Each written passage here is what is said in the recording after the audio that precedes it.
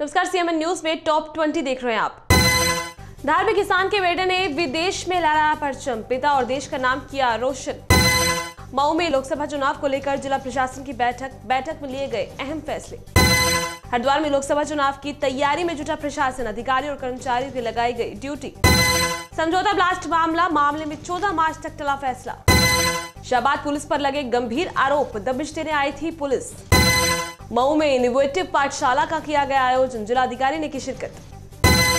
मऊ में जिलाधिकारी ने की प्रेस कॉन्फ्रेंस कहा जीपीएस लगे ईवीएम से होगा लोकसभा चुनाव। मुरादाबाद में जाम से परेशान जनता, प्रशासन नहीं दे रहा कोई ध्यान। मेरठ में मकान में लगी आग, मचा हड़कंप दमकल ने पाया आग पर काबू। भिवानी में सामाजिक संगठनों ने चलाया मतदाताओं को प्रेरित करने का अभियान। मतदाताओं से वोट करने की की अपील। पीएम मोदी बोले, महात्मा गांधी कांग्रेस को समाप्त करना चाहते थे। उनकी सरकार उसी राह पर चल रही है।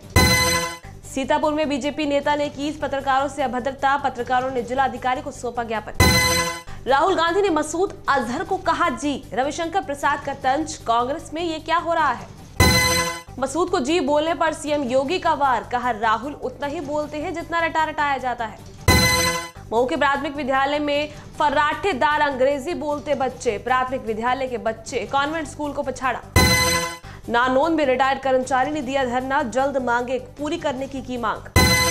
सवाई माधोपुर में बोली निवाई रोड पर लगा लंबा जाम, वाहन चालकों और यात्रियों को हुई भारी परेशानी। बुलंदशहर में इनामी पुलिस मुठभेड़ में गिरफ़्तार। बदमाश से एक तमंचा और बाइक की बरामद। मेरठ में नगर आयुक्त की तानाशाही ने ठेकेदार को भेजा अस्पताल, ज़िंदगी और मौत से जूझ रहा शख्स। हासनपुर में होर्डिंग्स उतारते समय सफ़ाई कर्मी की मौत, पीड़ित परिवार में मचा कहराम।